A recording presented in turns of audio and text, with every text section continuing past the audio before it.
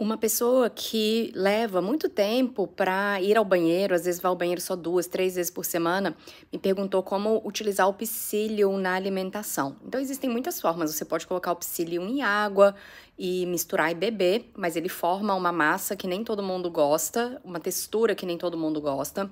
Você pode colocar o psyllium em receitas, ele pode ser usado para fazer pães e você pode colocar em iogurte. Então aqui eu tenho o psyllium, um iogurte, eu botei um pouco de água também, porque eu vou misturar isso aqui todo, chia linhaça para aumentar fibras e uma frutinha.